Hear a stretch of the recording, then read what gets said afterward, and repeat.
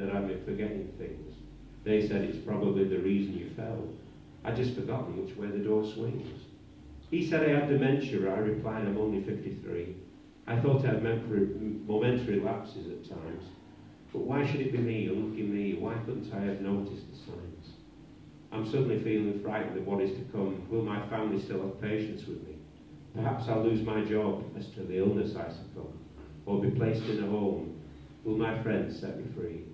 And what of the stigma because I'm mentally ill? Will my life ever be normal again? Perhaps my conscious being will depend on a pill.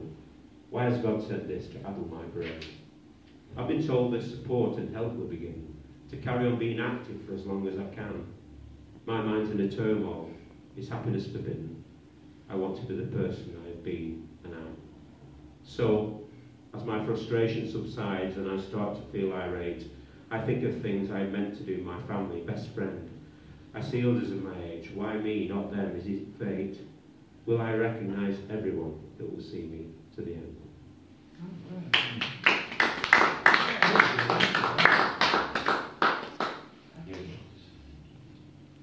So, I'll do one more funny one that, that you haven't heard, and uh, that, that these people have. So, these people say, uh, the audience,